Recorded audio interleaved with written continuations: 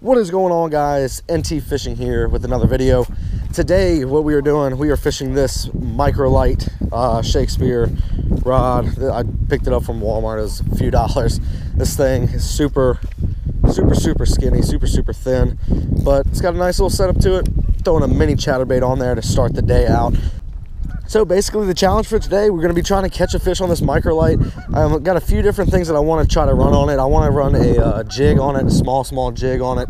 I wanna run a uh, uh, chatterbait and I want to run. I'm going to work the chatterbait like a jig. I might not even tie on a jig, but I want to work the chatterbait like a jig. I might be fishing some spoons and some wax worms. I don't know exactly 100% of what's going to happen today. I'm just hoping we can get into some fish because it's been a little while, and especially on this rod, it'll be super fun if we could get on to a fish. Two basic two basic main plans for today. Uh, I'm going to be fishing this little cove right here because I'm not sure how deep it runs, and I'm going to be going over to those rocks over there. That's going to be the two main areas that I fish today. Uh, this this area, just because I've had a lot of luck here uh, with largemouth bass uh, and the rocks and stuff, because it's deeper over there. The bass should be hopefully over there.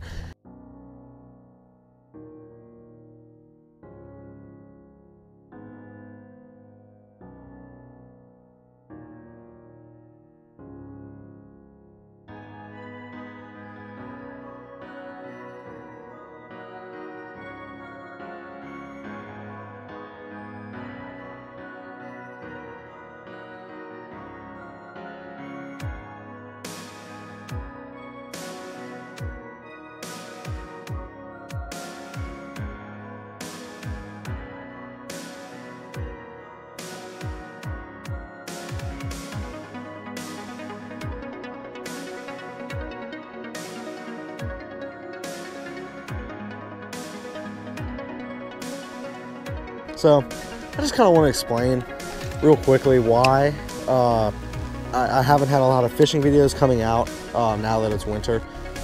Basically, Virginia is just awful, man. Like it is like when it is. Uh, well, let me tighten this up real quick because I was about to fall off. Um, when it is when it hits winter, it doesn't get cold enough for the ice to freeze over the lakes and ponds but it doesn't stay warm enough for the fish to stay active. So I can't like go out into the middle of a lake where it's frozen, drill a hole, and then do actual ice fishing. Like I have to try to do something like this where the fish almost have like no chance of biting. But, you know, I still go out here because I'm a dumbass. Um, but yeah, it's just, the fishing is so hard right now in Virginia. It's not even funny.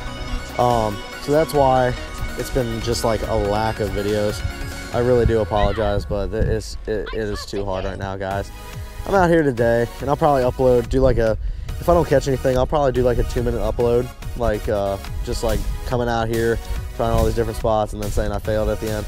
But, you know, it's, it's still nice to be out here. I love fishing, and I'm an avid fisher, fisherman, so uh, I just want to get out here and take the chance because you never know something something could hit.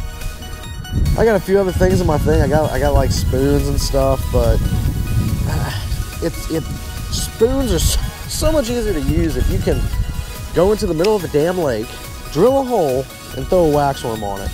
Now, when you're trying to cast and retrieve them, yeah, it's not that it's not that easy to catch a bass on.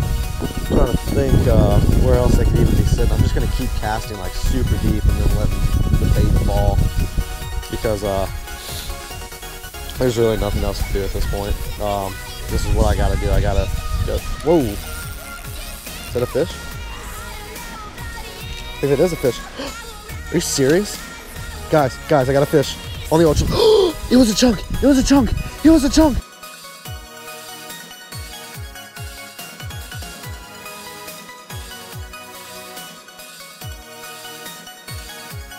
It's on. I just had my first bite of the day. I wasn't expecting to even get a bite today. And it was a freaking, it was, oh my God, it was a chunky fish. So I'm gonna try to get back into position. I hope he bites again. Oh my God, dude, that was a big fish. That was, I don't know how I'm that dumb. Oh. That could, that could, that has a chance at ruining my day today. Oh. So that is going to be what we're working with. We got a couple wax worms on there. We're gonna see if that can uh, help our luck out a little bit, change up, uh, change up how we're going after these fish.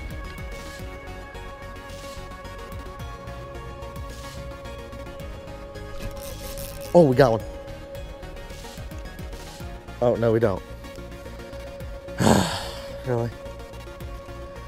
Oh, we had a fish. We have a. We have the opposite of a fish. We have a uh, what they call a snag fish. It's just not the day, ladies and gentlemen. It's not the day that Noah's supposed to catch a bass. Oh, did it come off? Came off. We are grinding out here.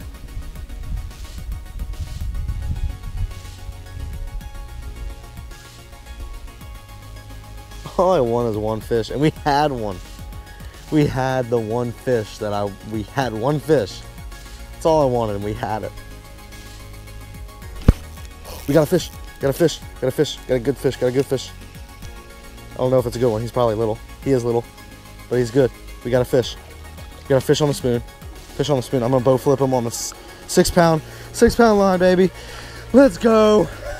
We caught a winter LMB, baby. Oh my God, you guys don't know how happy I am. This fish is not even close to the one that hit on the chatterbait, but you know what? Guess how much I care? Not at all, because you know what? We did it. We came out here, the odds were against us, and we took a spoon and we took some wax worms, and we freaking caught a largemouth bass that is freezing cold. I'm gonna get him or her back in the water. Stat, it's always good. We're gonna swap sides here. I'm gonna jump over.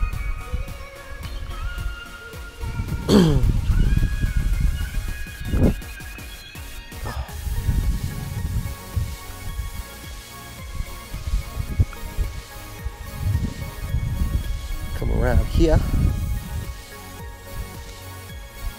And then uh, cast this way. see if we can hook into something. I would love for that big girl to come back. I mean, I've caught big bass out of here before, so it's not like it's something new for me. It just would have been a really Ooh, there's another one. It would have been a really fun experience on the ultralight. That, that's not a bad one.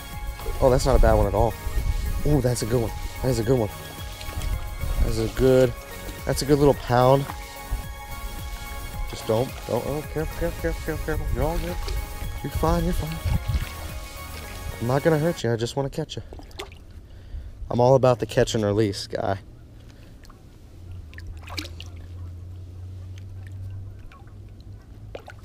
There we go. That is a long fish. Let's go. That's about a two pounder. I wish I had my scale with me. I didn't bring it. Because I wasn't even sure if I was going to be catching anything today. Obviously, I uh, kind of messed up myself there, but that's about it's about a pound and a half, two pound largemouth. Got about, I would say probably maybe 15 inches, 14 inches Definitely a keeper in the tournament. Got a nice little mouth. Yeah, I'm oh I'm I'm happy. Alright guy, we're gonna let you go. And I just got freaking soaked! Oh my god.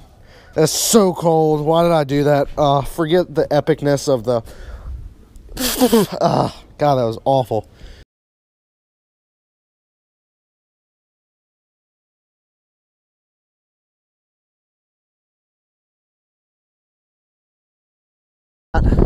Gonna do an outro right here, but yeah.